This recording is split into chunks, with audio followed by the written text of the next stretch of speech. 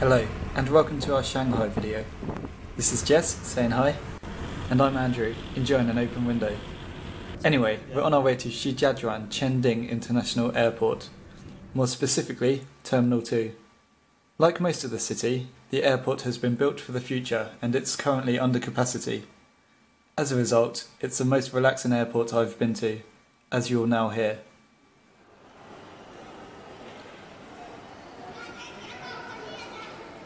On the other side of security, there was a bit more noise provided by the toy store flying drones, something I doubt I'd see in Heathrow.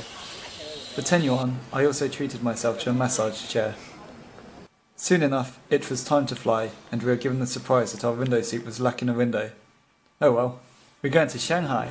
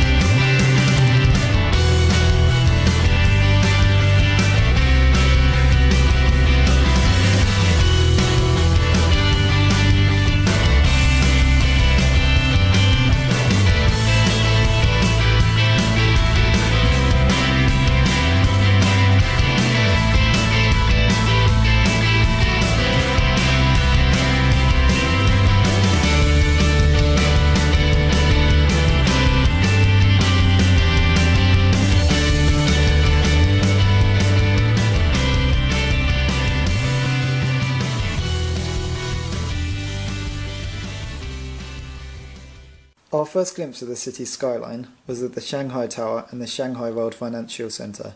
The Shanghai Tower looks like a giant chimney and is the world's second tallest building. However, it is not yet open to the public, so we visited the financial center instead.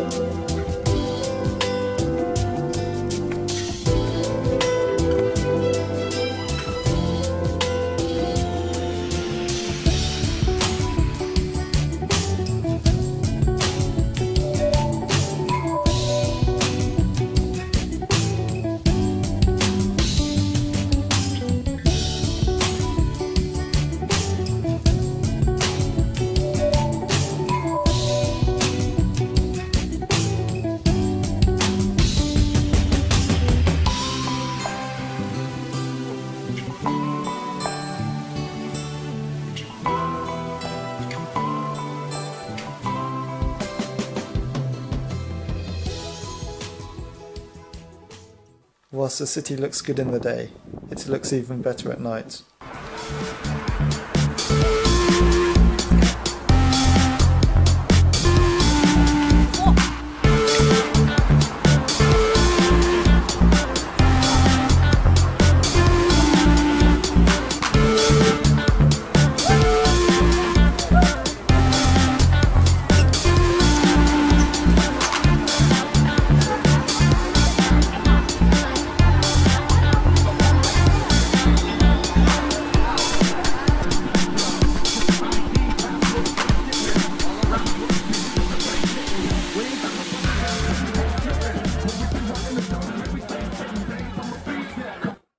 Having decided against a submarine adventure, we decided to go to our hostel.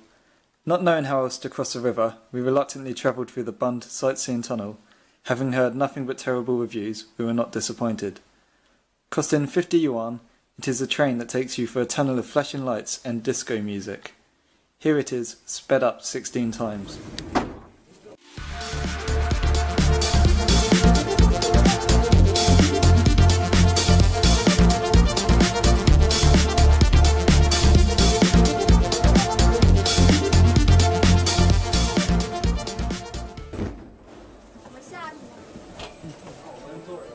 On the other side of the Huangpu River, the city was extremely busy. After catching another glimpse of the skyline, we headed towards the hostel. Due to the large crowds drawn in for the May Day holiday, a number of metro stations were temporarily closed, and the army were visible throughout the city to prevent overcrowding.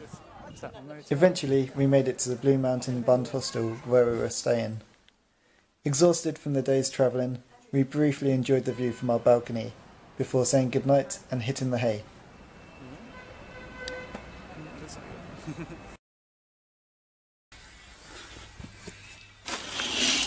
Hmm.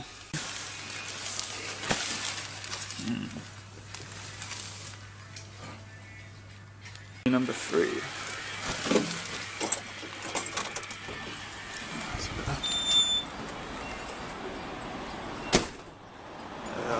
Much better.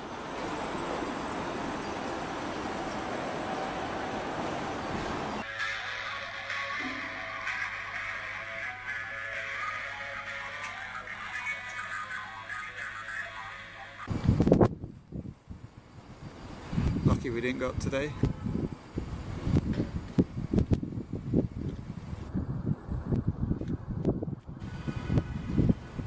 We left the hostel at 8.30 to try and beat the holiday crowds. We were on our way to the Yu Yuan Market and the Yu Garden. So we're on it. So I'm going to Jiao which is here. Yeah?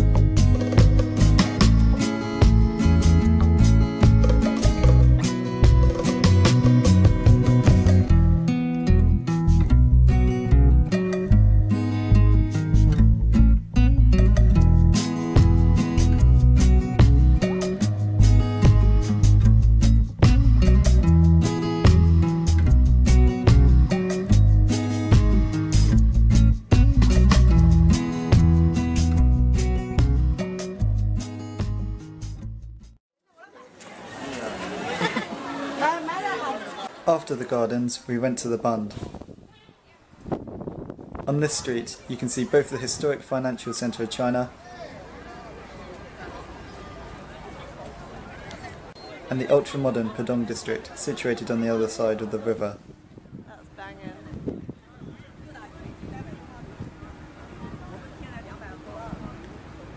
Having taken a lot of photos, we headed shopping in many of the enormous malls.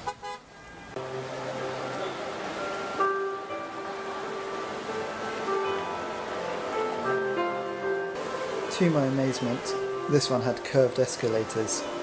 I've never seen anything like it. Mm-hmm. Having been to a few shops, we explored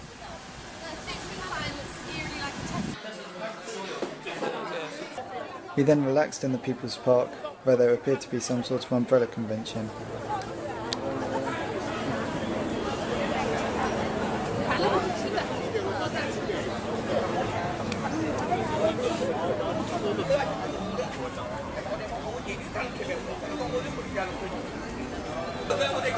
小的，小的，谢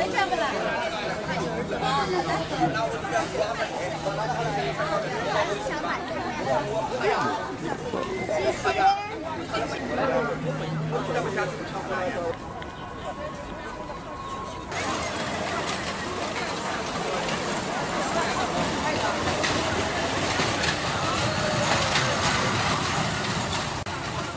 In the evening, we headed back to the Bund to see the skyline at night. Due to the bad weather, the tops of the tallest towers were hidden in the clouds, testament to their height.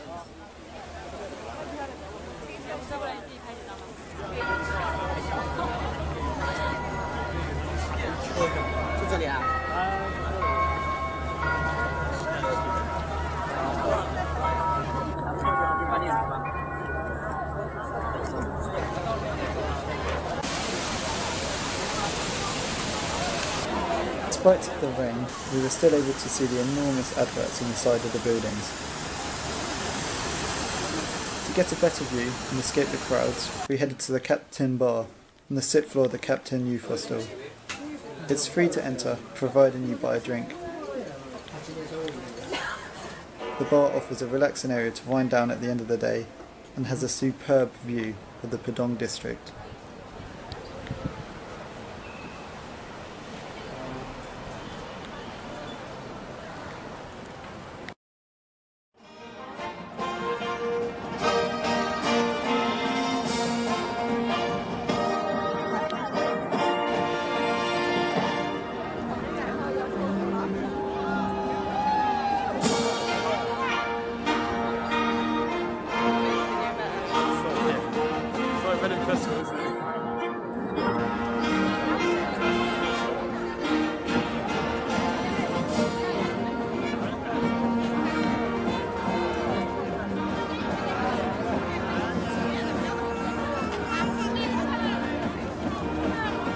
On our last day, we said goodbye to the Bund and headed towards West Nanjing Road, where we could watch the Mayweather Pacquiao fight.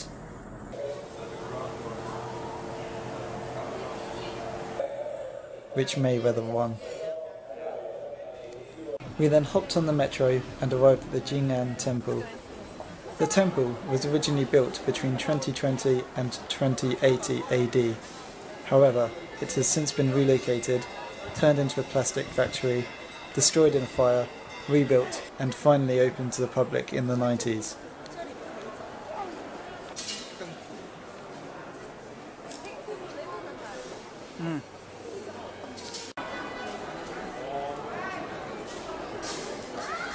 Whilst I'm not sure if anything original remains, it is still nice to take in the atmosphere and have a walk in and around the buildings, where a number of statues are on display.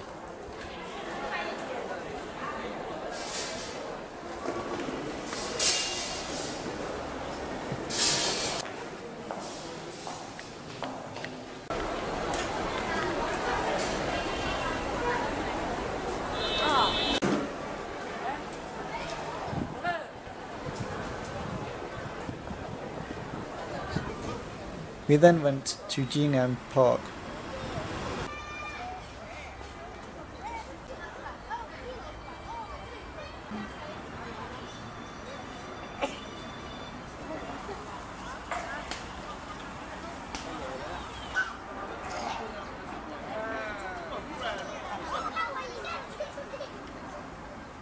After Jing'an Park, we went to check out the brand new Natural History Museum.